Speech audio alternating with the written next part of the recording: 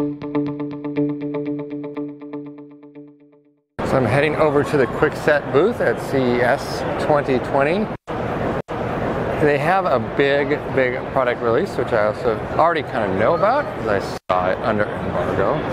But I'm going to show it to you over here. So now, because I've registered here, yeah, I'll be able to unlock it. Really, you guys had all the questions and down? and you use the which you have your own software to program it. There's um, the app will walk you through the uh, Mm-hmm. onboarding process or getting your um, enrolled, your fingerprint enrolled. Uh huh. Uh huh. In addition to that, there is a button here that you press the program button, Oh, okay. You, so and then you can register it. you can do it as easily as just as long as you're on the inside of the house, you can press the button. Correct. So, So you don't actually need to access an app to register your finger. The app will just help walk through the steps Ah, okay. and the expectation.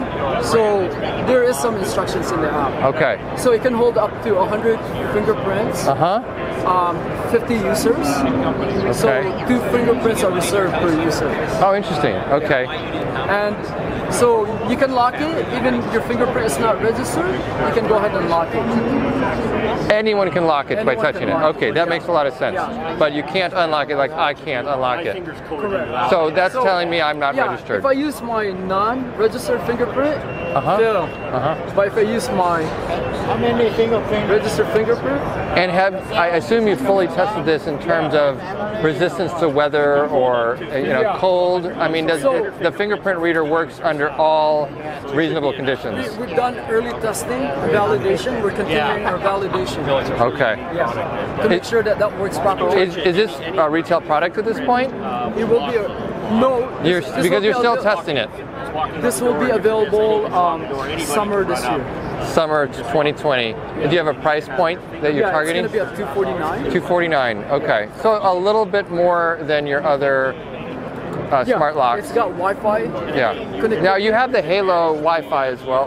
Correct. The Halo touchscreen and the Uh-huh, keypad. uh-huh. That's also Wi-Fi enabled. Okay, so adding the fingerprint reader adds a little bit to the cost because the Halo. Yeah.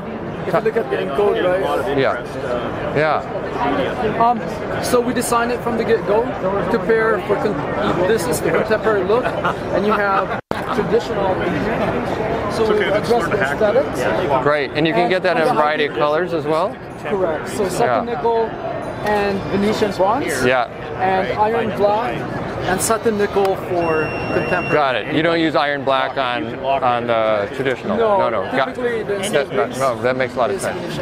Sure, sure, sure. Very, very good. So, are you the first to market with a fingerprint reading lock? We're- not. But what's your value added from Kwikset? But I think I think Probably. the, value, the value add is that we're the first year, right? yeah. Um, in addition to that, so the security, none of the fingerprints are, are uh, stored in the cloud. Okay, it's all you have onboard memory. Encrypted, kept in the lock locally. Yeah. And the memory is divided that way. That portion can't be accessed.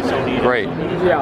So still gonna be controlled with the Kwikset app. Uh-huh. So you can still do set up, delete your fingerprints, delete Okay. the user, or make a user inactive Yep. and make it active. Or you can also grant 24-hour access or scheduled access or admin access.